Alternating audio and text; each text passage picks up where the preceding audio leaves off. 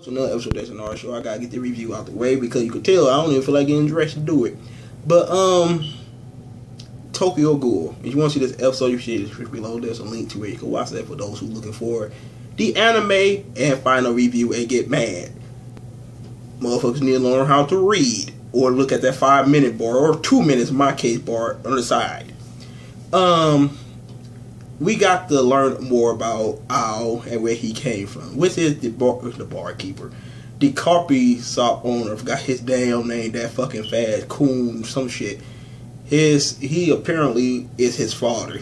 He fell in love with a human. He could be a ghoul that go around killing humans and ghouls alike. And he gained power. He basically like how Kaneki is, how he devoured actual ghouls and get stronger. And all is that that born half ghoul, half human. Cause they always said the person that was born a half ghoul, half human usually be the strongest one of them all.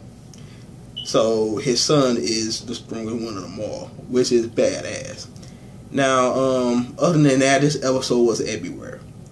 I mean, I got the, I thought for me and Chris thought that the damn old shop might get attacked by everybody or whatever. We thought everybody could die. How it was shedding, like going off, like we with you to the end, and the song started playing. Like, oh, everybody could die, and, and they didn't die. So it was like they were just false advertising right there, just just setting up to be completely anti-climatic near the end. But other than that, just a praisement episode to explain the background of Owl, even though he not that very, he not that important because he yet to do anything important to even be a goddamn threat, I guess. But anyway, tell you guys think. Make sure you rate, comment, and subscribe. And I'm about to go pray uh Dying Light now. Have a good one.